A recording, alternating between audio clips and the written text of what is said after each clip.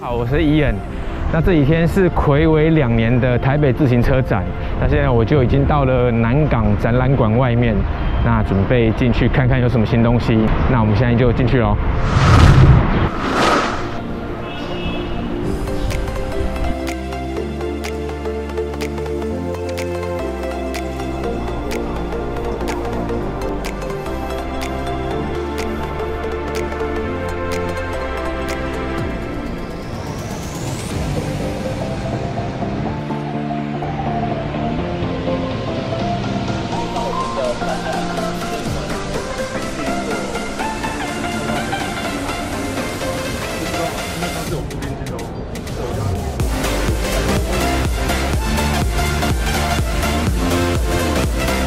这是 Xfusion 的 H3C 弹簧后避震器，然后它主要是用在下坡跟 Enduro 上面，Trail 其实也可以用啊。这个是有踩踏平台的版本，这边有三段，可以全开，然后中段那踩踏平台，然后这边还有低速压缩可以调整，那下面就调整 Rebound。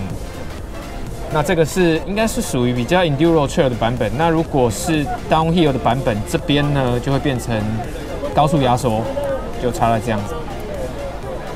这是 Xfusion 的 H3C，这一支是 Xfusion 的 eManic，就是电子无线的伸缩坐杆。因为现在还是保密阶段，所以呢，影片我就上马啦。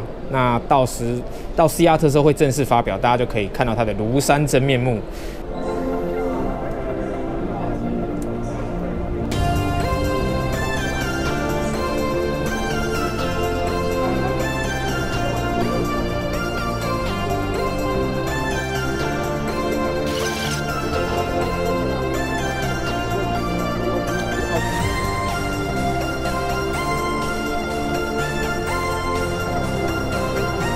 在 Topic 这边看到一个非常神奇的自行车脚架，你看这边有接了一个线，它其实就是一只巨型的伸缩坐管。我们请月华帮我们示范一下，什么叫巨型的伸缩坐管？好，脚踩下去哦，你看轻轻松松，你就可以把整台车举起来。这个对车店真的是超友善的。那如果压压下去呢？再请月华示范一下，也是一样，脚踩一下，解开锁定装置。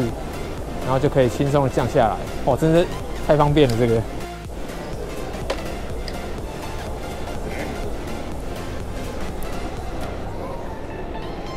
轻轻松松啊 t o p i 最新的 Joe Blow Two B Two Stage，然后这看起来呢就是一只打气筒嘛，不是啊？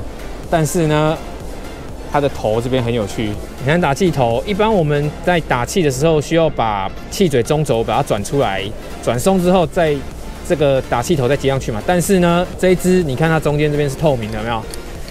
这个你就是气气嘴头中轴都不用动，这一支先把它推进去，锁定气嘴中轴之后拉起来，然后就可以进行打气。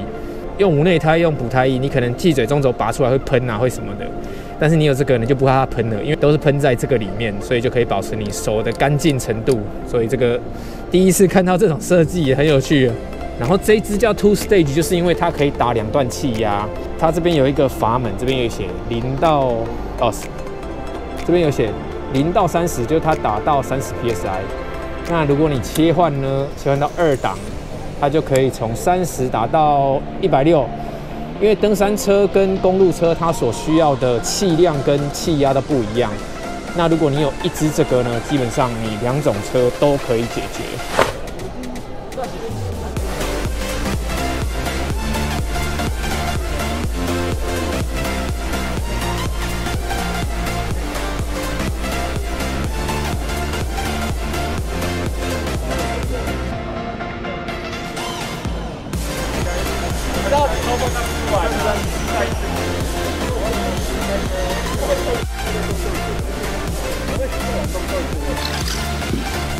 WTD 的摊位看到一个熟悉的面孔哦，这边都是他们的赞助选手，在这边看到熟悉的面孔是谁呢？大家应该认识吧？好，WTP 这边他们有出了一组新的轮组，叫做就是我们看到这个 CZR，然后它有出给 Gravel 用的，叫做内框宽二十三，然后还有出给登安车用的这个内框宽三十，然后它是碳纤框，然后这一组在国外的评价是蛮不错的，因为它的价格呢相对比较亲民，啊虽然它没有非常轻，但是它的刚性强度很好，就是据国外的网站测评呢，经过摧残之后都不用去调整这些钢丝的拉力，就它维持度都维持得很好。所以这一组可能是想要入手碳纤轮组的朋友是一个不错的选择。让完全你都没有骑过的朋友也可以来骑，那就由我完全的带大家体验，稍微体验一下 off road 怎么样。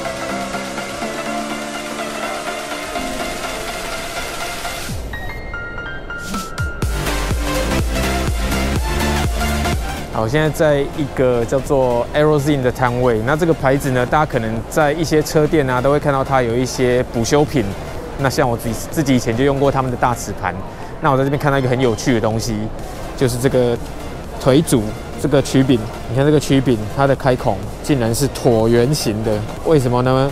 我们来看后面，原来它是在配合这一个，就可以调整你装踏板的位置。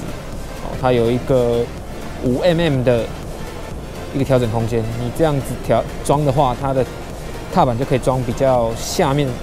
那如果你把它这个这个块呢，把它翻过来，你的曲柄就可以往上调五 mm。所以我觉得这是一个蛮聪明的设计啊。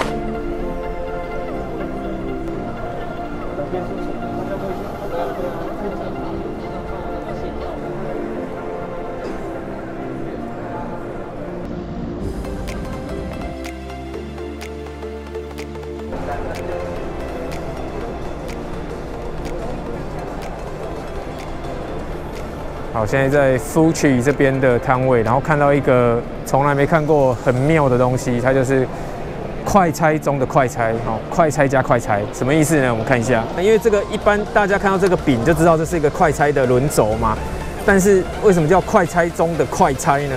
来，我们请医生帮我们示范一下，有没有快？它这边完全不用转哦，就是靠一个卡榫机构，只要这样一转。就可以马上把轴抽出来，我们再请医生把它装回去。你看有多快？你只要对准，好，装好了。这个是不是快拆中的快拆呢？